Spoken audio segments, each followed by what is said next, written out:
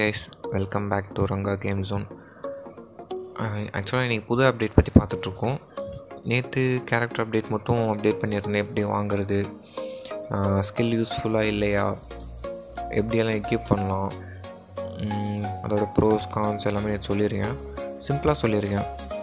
இதுதான் அந்த character link வந்து டிஸ்கிரிப்ஷனில் இருக்குது அப்படின்னா யூடியூப் சேனல் இருக்குது செக் பண்ணிக்கோங்க. நெக்ஸ்ட் நம்ம பார்க்க போகிறது வந்து ஆன்டி மெட்டீரியல் லான்ச்சர் இது வந்து சொல்லப்போனால் லான்ச்சர் தாங்க. ராக்கெட் லான்ச்சர் மாதிரி சுட்டிங்கன்னா ஸ்ட்ரெயிட்டாக போய் சுடுங்க. எந்த இடத்துலன்னு சொல்கிறீங்களோ இது வந்து வைட் ரேஞ்ச் வெப்பன் ஆக்சுவலாக ஷூட் பண்ணிங்கன்னா போய் வெடிக்கும்.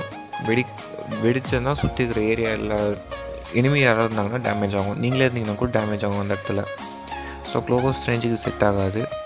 ஆனால் ரொம்ப ஸ்லோ இது. இதுக்கு M seven nine bullet use பண்ணலாம்.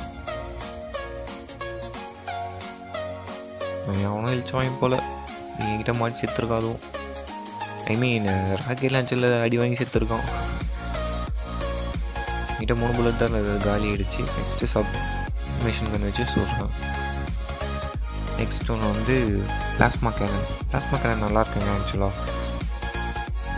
நல்லா இருக்குன்றது ரொம்ப நல்லாயிருக்கு புல்லட் தேவையில்ல. ஆனால் ஒரே ஒரு ப்ராப்ளம் என்ன ஹீட் ஹீட்டிங் ப்ராப்ளம் அந்த இஷ்யூ இல்லைனா அன்லிமிட்டெட் ஹேமோ கணக்கு தான்.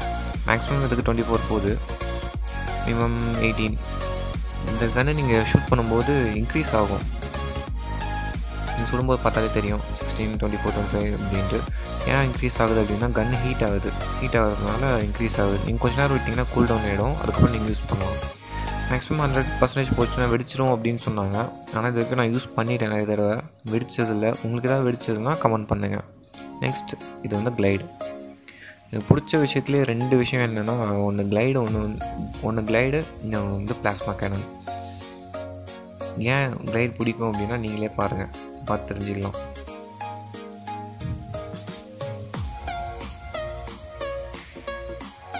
இதனால் தாங்க ஒரு இடத்துலேருந்து இன்னொரு இடத்துக்கு ஈஸியாக டிரான்ஸ்போர்ட் ஆகலாம். அதுவும் ஏரில்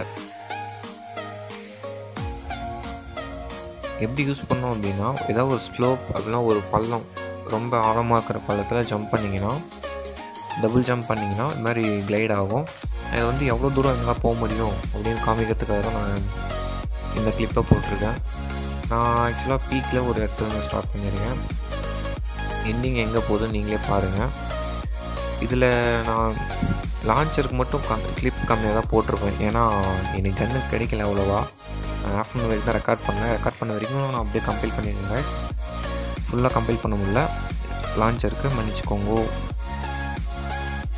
இன்னும் லெவல் ஃபோர் ஹெல்மெட் ஒன்று இருக்குது இந்த யாருக்காவது கிடச்சதுன்னா வீடியோ ரெக்கார்ட் பண்ணுங்கள் இல்லை ஸ்க்ரீன்ஷாட் எடுத்து அனுப்புங்க. நான் அப்டேட் பண்ணி விடுறேன். மறுபடியும் நீங்கள் கிளைட்லேருந்து கீழே இறங்கணும்னா சேம் ஜம்ப் அதாவது எப்படி ஜம்ப் பண்ணி மேலே போனீங்களோ அதே மாதிரி ஜம்ப்பை கிளிக் கிளிக் பண்ணிங்கன்னா கீழே இறங்கிடுவீங்க. all guys thank you very much.